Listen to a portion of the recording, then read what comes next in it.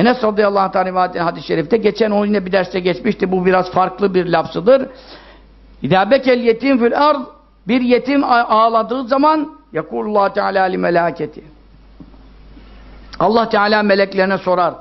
Men bekkâb diyâdel yetim. Benim bu yetim kulumu kim ağlattı? Enellezî gayyebtu ebâ fit turâb. Onun babasını toprakta kaybeden benim. Yani ben öldürdüm, onu ben yetim bıraktım. Bıraktırdım.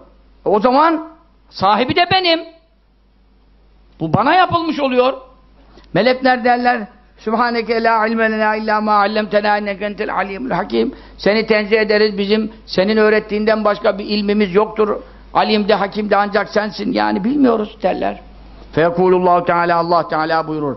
İnni üşidukum ya melaketi men eskenehu lirbai fe inni zaminun lirba'u fil men esketehu. Evet. Hızlıyı çıkarınca okudum da. Ey benim meleklerim şüphesiz ben sizi şahit ederim ki benim rızamı kazanmak için kim o yetimi susturursa ben cennette onu razı edeceğime söz veriyorum.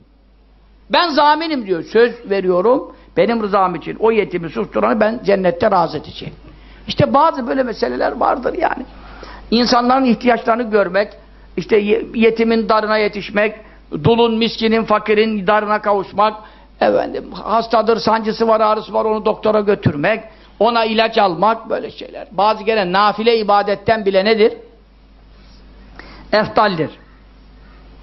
Geçen e, Doktor Akif Bey soyadını unuttum neydi? Feyzoğlu. Hoca efendi yani doktor, büyük bir doktor, yaşlı da bizzat Mehmet Zahid Kotku Hazretlerinden kalma yani onun şeyinden, cemaatinden onlar rastlaştık yani. Mübarek adam baktım konuşkan da bizzat Allah hayırlı uzun ömür versin. Fakirlerle, şeylerle, işte muhtaçlarla uğraşıyorum diyor. Hastaneler, bütün hastanelerin başında falan çok yetkili de biri gibi anladım. Ee, bizi de dinliyoruz sohbetleri. Mehmet Zahid Efendi'den beri diyor, senin şeyini anlıyorum diyor. Onu anlardım diyor konuştuğunu, bir de senin konuştuğunu anlıyorum diyor. Yani o sohbet, o usul ya, halk dili meselesi de e, bize de iltifat etti. Ne dedi?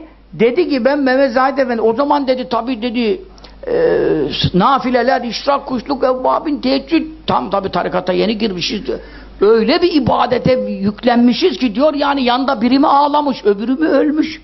Hiç görmüyoruz diyor yani. Tabi Mehmet Zahid Kotku Hazretleri tabi doğrusu bu hadis-i şeriflerden gelen şey aynı. Dedi ki bize diyor, evladım bir Müslümanın ihtiyacını görmek nafile ibadetten eftaldir. Bunu diyor duyunca diyor yine nafileyi bırakmayın. Yani abdest şükrü, işrak, kuşluk, namaz, ibadet bırakmayın. Ama bir Müslümanın işini görmekle karşılaşırsa neyi tercih edin? Nafileler için konuşuyor. Farz için olmaz. He ben doktorum, herkesin iyiliğine bakıyorum, namaz kılmasam da olur. Öyle bir zıvana yok öyle bir. O uydurma o. O farz ayrı Allah'ın hakkı. Ama nafile ibadettense Müslümanın ihtiyacını görmek eftaldir. Ne buyuruyor hadis-i şerifte Resulullah sallallahu aleyhi ve sellem? 10 gün itikaf yapmak, Ramazan'da 10 gün itikaf yapmak, son 10 günde. Her bir gün için cehennemle adamın arasında ne açılır? 70 senelik hendek açılır. Uçurum yani. Cehenneme hiç uğramasın diye. 70 senede geçilemiyor. Öyle hendek açılır. Her gün itikaf Ama men kadâ fi hacedehil müslim bir Müslüman kardeşin işini görmek işte ağrısını dindirmek, sancısına melhem olmak, borcunu ödemesine yardımcı olmak, biriyle kavgalı barıştırmak, karı koca arasında bir sulh olmak, neyse yani bir Müslümanın bir işi düştü. Maddi manevi. Bunu görmek için çalışmak ve mesai harcamak ve adım atmak, yürümek, gitmek şimdi biraz daha kolay. Telefonla bile oluyor. Tabi eskiden bu aletler olmadığından kalkıyorsun, gidiyorsun ondan öbürüne nasıl konuşacaksın o zamanlar. Bir Müslüman işini görmek için yürüse diyor kâne lehu hayran min i'tikâfi fî mescidi hâde aşra senin. Benim şu mescidimde Ravza-i Mutahara'da diyor 10 gün değil diyor 10 sene itikaf yapmasından daha hayırlıdır diyor ya. Bir Müslümanın işini görmek. Bak ne diyor? Rızam için yetimi susturursa diyor Ben onu razı edeceğim söz veriyorum. İşte demek ki orada ne yapmak lazım?